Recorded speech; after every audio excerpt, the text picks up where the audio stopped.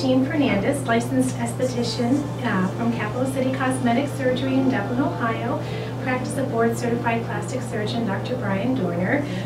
We're continuing to work on hyperpigmentation on Jennifer's cheeks and on her forehead, and also some of those textural irregularities and some shallow scarring as well. This is Jennifer's eighth treatment. Again, we did a variety of treatments on Jennifer to work on pigmentation issues, um, more so on um, with prominence across her forehead and the periphery of her face.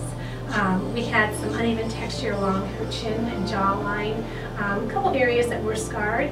So um, we did the three-step peel, the microneedling, the stimulator peel, um, to kind of work on all of these different issues. And we have found that we've made an impact in some of the vascular issues that Jennifer was having and some redness across her cheeks.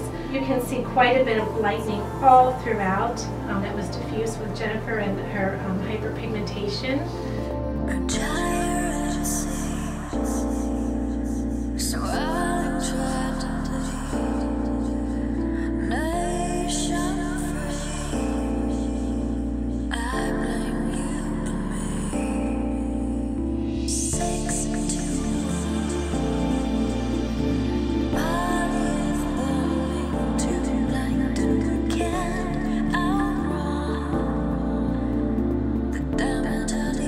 I noticed a huge change, like you said, with the redness and the pigmentation, but I also feel like my skin looks brighter. Mm-hmm. Um, and I have noticed a lot of cellular turnover, like I feel like my, my skin is constantly peeling and sloughing and, and better, brighter skin is coming through underneath.